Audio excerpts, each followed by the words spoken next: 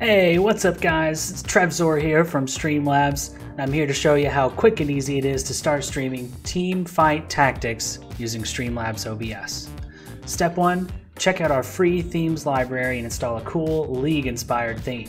Just click Themes at the top of Streamlabs OBS, search for League, find one you like,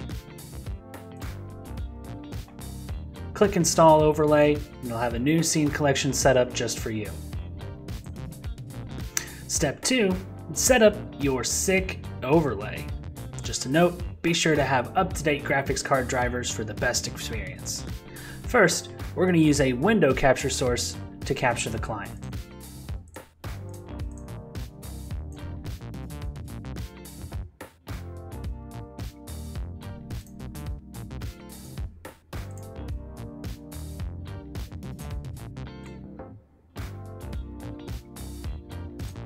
Then, once you're in game, we're going to use a game capture source to capture the actual gameplay.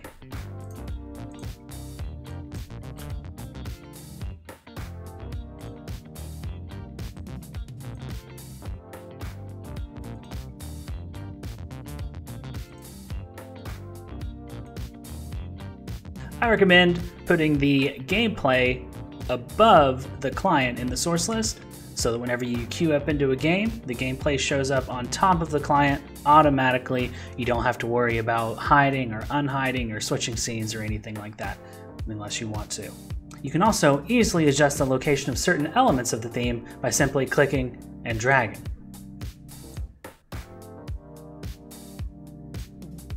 You can also flip sources vertically or horizontally to customize the theme just how you like it.